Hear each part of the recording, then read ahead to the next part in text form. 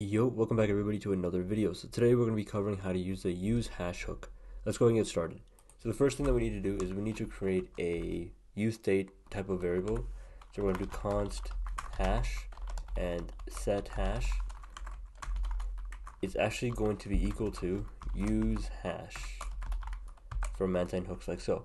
That's pretty much all you really need to do. Um, now what I can do is if I wanted to make a button and I can do on on click, run our set hash to equal random ID. Now this random ID is actually an import that comes straight out of um, hooks.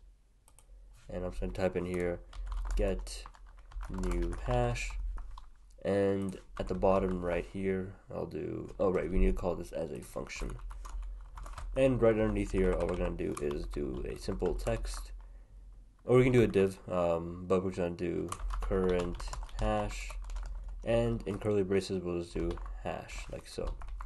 Now, if we were to save this, and we click on get new hash each time, we're going to see that we have this hashtag mantine, and that's something that usually you don't want to see if you have a production type of app, so we're going to go ahead and get rid of that. Alright, so to get rid of that, it's pretty simple. What we're going to do is we're just going to do dot replace on top of the hash.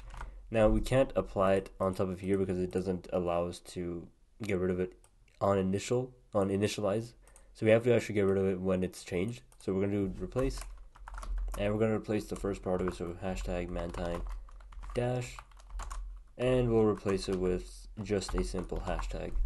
And so now if we get a new hash, we'll see that we have um, we have a proper. So now we can actually use this inside of a URL if we wanted. So it's not hashtag Mantine.